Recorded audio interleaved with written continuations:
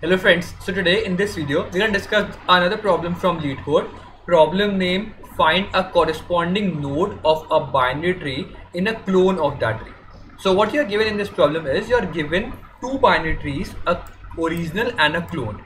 So both the binary trees are exactly the same but the problem is like because both of these trees are different different it means that they, they require different memory allocation though both the trees are same but see if you like if you make two trees which are exactly same but they allocate different memories now because you have stored these trees differently in the memory.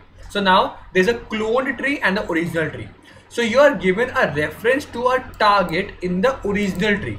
So you are given a reference that I like I have a node or like I have a pointer which is pointing to a particular node inside the original tree which is given as a target. So which is like a tree node pointer which is equal to target okay? So now you have to find out that you have to find out the same node. Like so as you can see because both of the trees are same okay you have to find out the correspondingly same reference node in the cloned tree.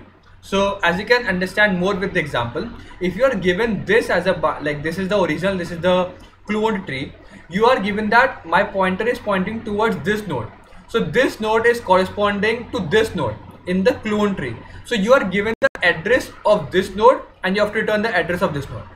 Okay? I hope you get the point. So you actually have to find out the same node address in the other tree.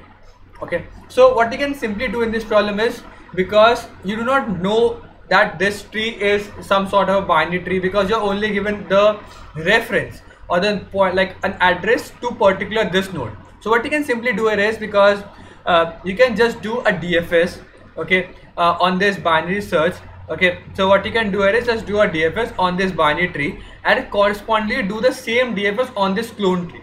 And whenever you reach the target node because you're doing the same DFS on both the trees simultaneously so when you hit this node in this tree you are simultaneously also hitting on this particular node. So just save this particular node address and that's the answer okay i can directly show the code part if you have any doubts. I can also like free feel to mention on the comment box i will help you to find out the, any if you have any problem so I have written down an OK function which is actually the recursive function to do the DFS on both the original and the clone tree. So I have to actually send the original tree address, the clone tree and the target value which we have to find out. And I have to return the answer which is a global like uh, tree node pointer which is actually store the corresponding address of the node in the clone tree.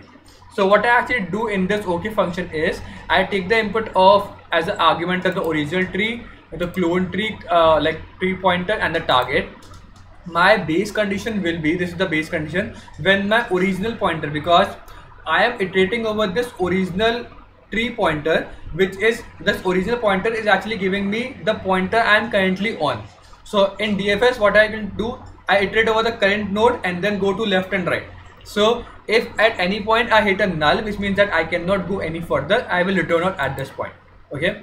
If at any point my original value the the the node I am on on the original tree it matches the target tree it means that okay I am on the node which I am looking for. So now see that same node in the cloned tree. So I will mark the same node in the clone tree which is here in answer.